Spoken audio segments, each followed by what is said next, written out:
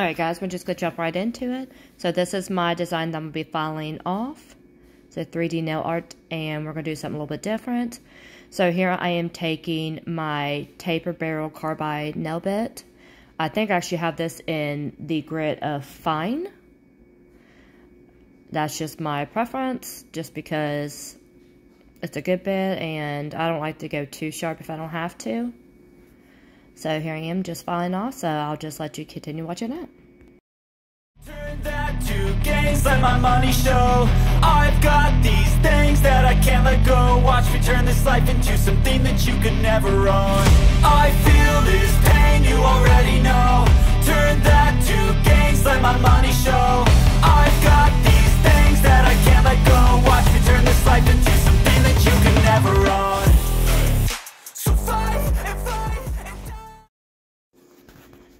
So when it comes to prepping the nail, this is always, always an absolute must. You must always push back your cuticles. I don't care if you get a filling every two weeks or you just have cuticle maintenance. You know, you do it every day. Always push it back because that's extra nail growth that you have to work with as far as nail art and stuff. So I never, ever skip this step.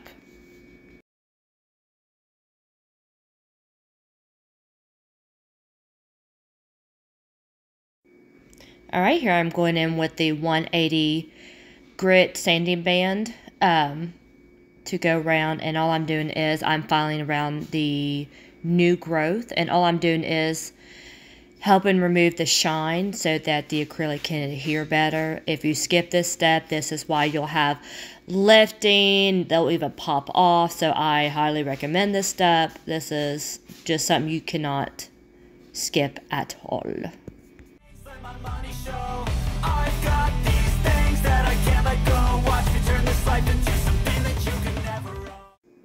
Here I'm spraying down with some alcohol. This is why I use as in place of a, an actual nail dehydrator. I find that isopropyl alcohol works just as well.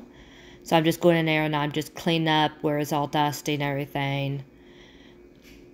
And like I said, I think it works just as well as using a nail dehydrator. And it's a lot cheaper too. So here I will be going in with the No Lines uh, Fill Eraser from Mia Secret. Basically, it helps blend the acrylic into the new growth. Same idea as if you used a file to blend in and with your new growth. Um, this kind of helps with that. I do the blending with the file and then I use this and together it's just a great combination. You really get the I think you get the best results when you use this product right here. And then the next thing we're going to be going in is with the uh, Mia Secret Extra Bond Primer. Love this stuff. It's a no burn primer. Um, so what I do is I just place it on the new growth. You do not need to put it on the the acrylic product. There's no reason to. So you just need to put it on there on the new growth and I will actually let this set go to my other hand and then I'll go back and do a second coat of this just to make sure, you know, everything is right on point. So here I'm going in with my first bead of acrylic. I use Cover Pink by Young Nails and the Mia Secret Monomer. It honestly, I think it's a great combination. It, they just work so well together. Here I applied my first bead. Not the best application just because I'm trying to film it, but if you just watch, you'll see my technique that I always do. A bead at the cuticle area, bring it down the nail, and then you'll see me here shortly. I'm going to check the side of it to make sure there's a nice apex, make sure there's no dips or anything, and I, you just kind of got to look around your nail just to see where you need to add the acrylic. Because you can have the same method, do it every time, but you'll still can miss places, and, you know, everything factors in. The temperature, just anything and everything. So, but yeah, this is how I do, and I'll just let you keep watching.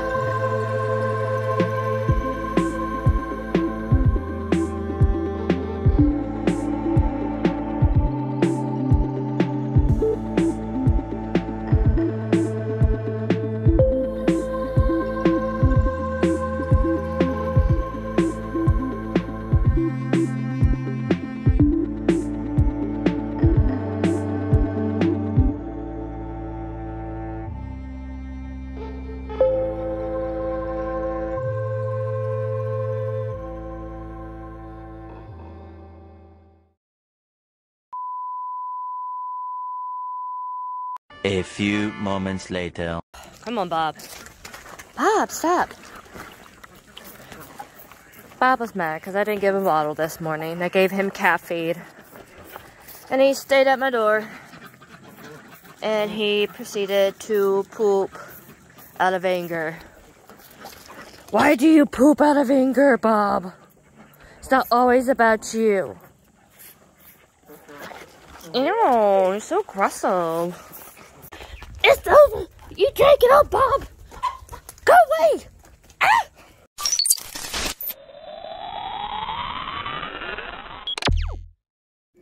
Yeah, so that's Bob. I had to stop and feed him. But anyway, here we are. This after I have put on the acrylics. I'm going to go in, file, and shape him. And then here we are. I am... I was starting to do my design and showing you what I did, but unfortunately my power went off during this. How lovely is that? So anyway, here I'm making a little ghost face. I'm in the mood for Halloween. I love Halloween. So this is how I do it, and I will show you the end result in just a second.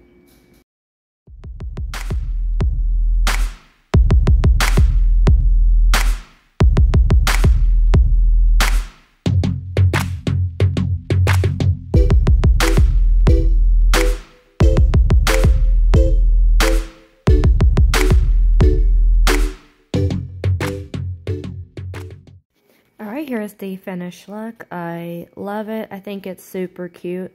I just love Halloween. So let me know what you think below, and I'll see you next time.